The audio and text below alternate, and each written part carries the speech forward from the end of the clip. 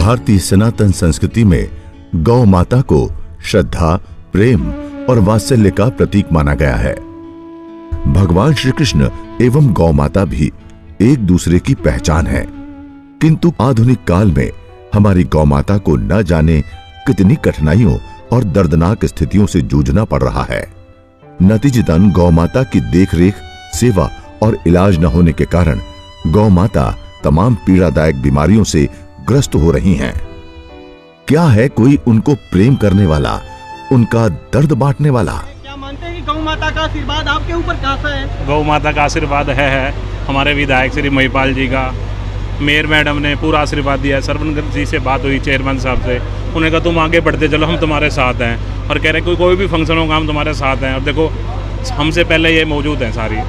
इनका पूरा सहयोग है। मैं बहुत बहुत धन्यवाद देता हूँ। जब आपने शुरुआत की थी तब आप कितनी गौ माता की सेवा करते थे और आज कितनी गौ माता की सेवा हमारे पास जब आज से डेढ़ साल पहले तीस गायें थी अब हमारे पास पाँच सौ हैं। अब ये नंदीशाला खुलने से हज़ार एक हज़ार की तादाद हो जाएगी। हमारे भाई हैं श्री राधा कृष्ण गौशाला के नाम से गौशाला चलाते हैं। बहुत बड़े सोशलिस्ट हैं और समाज के सहयोग से और अपने सहयोग से दिन रात एक करके गौवों की सेवा करना और साथ में जो नंदी घूमते हैं उन नदियों की भी यहाँ पे ठीक से परवरिश हो उसको लेके एक इन्होंने संकल्प लिया और आज वो संकल्प पूरा हो रहा है। आपको जितनी ज़रूरत हो खुले दिल से ऐलान है।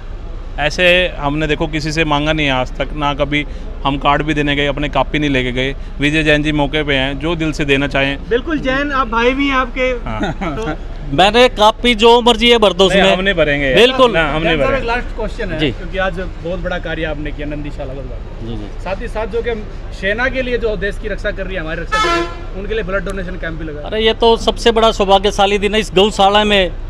एक सेना के लिए ब्लड डोनेशन कैंप लगाया गया और सभी साथियों ने आज मेरा उम्मीद है कि पानीपत में नंबर वन में अब तक के जितने डोनेशन हुए हैं सबसे नंबर वन पे आज ये गौशाला का हमारे राजीव जैन जी और उनकी पूरी टीम को मैं बधाई देना चाहूँगी कि जो ज़मीन गोचरण की जो साइन होकर आई हुई है कि जो ज़मीन है ये गोचरण की ज़मीन है उसको हमारे राजीव जैन जी ने उनकी पूरी टीम ने मिलकर वो सपना जो है आज पूरा किया है। बेसहारा गोवंशों के लिए नंदी नंदी शा, नंदीशाला यहाँ पर बनाई गई है। तो राजीव जैन जी और उनकी पूरी टीम का मैं धन्यवाद करना चाहूँगी।